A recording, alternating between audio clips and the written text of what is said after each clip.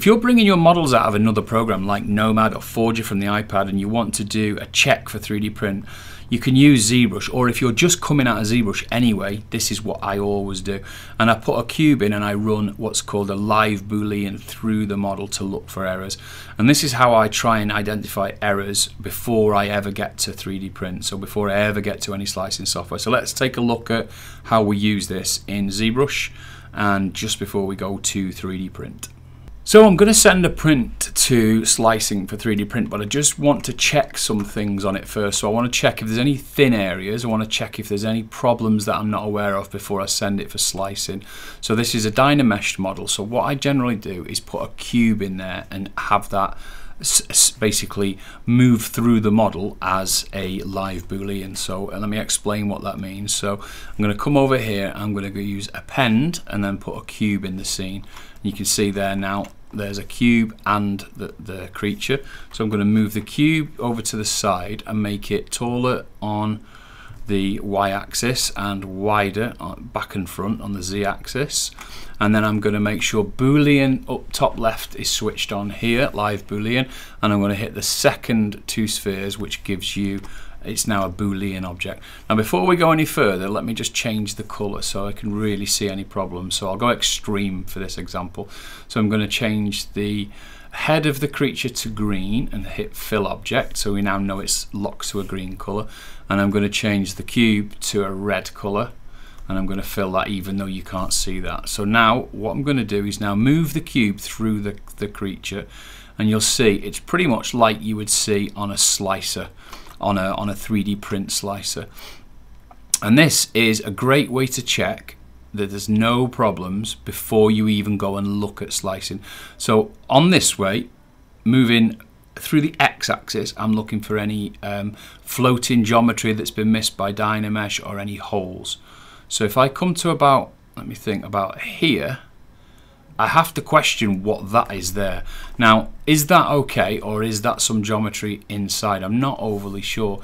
So I'll just pick a third colour, use a standard brush, and I'll just paint that.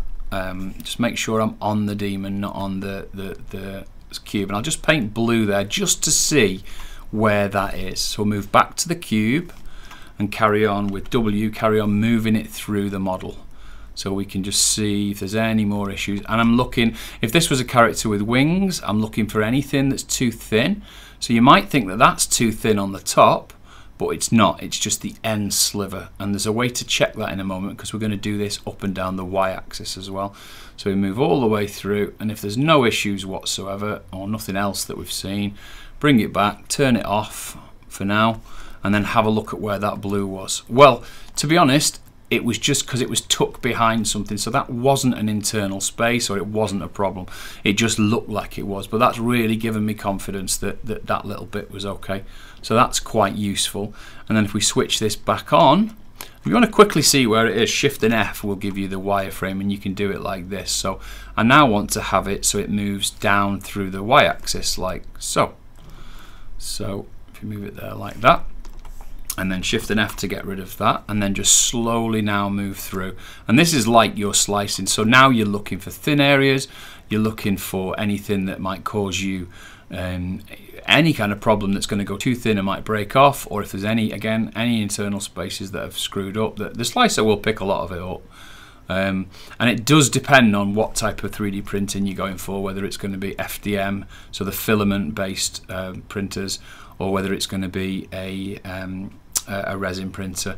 And again, it looks now at this point, this is effectively just looking like um, what you uh, what you would expect from from a 3D printer. You can move your cursor around, your your gizmo around with using Alt if you just want to you know control it a little bit better.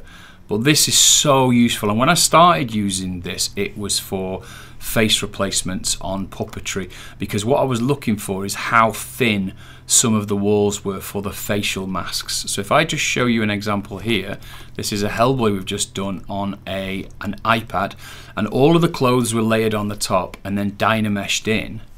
But if you now have a look, I've, I've actually found all of these little pieces here that were all floating around. So I've, I've basically deleted them out and I've put this Hellboy with the cube and just done what we what we've done with the other character.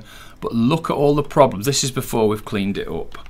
And look at all the problems inside. So where the clothing is laid over the top there's air pockets and the slicer and the hollowing will find that and, and, and it could throw up errors. And if you look this model before we've done anything to it it's all the way through. And that's where I've just got clothing laid over the top of skin and it's left an air pocket. So and you can see it down onto the shoulder and you can see it coming all the way down here. And that's going to give you errors all the time. If you take that one step further and do it with one that's already hollowed let me just have a look at this one and move this one you can see there that's that model that's now been been hollowed. And it's giving me all kinds of errors. So I've actually done like a 2.3 mil shell or hollowing and I do that in Chitubox for this particular one. So it has had a go at it but it has left me with quite a few rogue air spaces there that, that, that probably will print but that just might be the one thing that causes you a massive print fail. So just just be aware of, of using um, you know th this is a great way to go in and check all of this stuff before you ever spend any time doing it with your slicer I really hope you're enjoying these quick tips and I hope that it's giving you information in bite-sized chunks that really helps you with your creative journey. Please subscribe to the channel, like a video that works for you and don't forget to hit the notification bell if it's something that you want to see more of. Have a great week.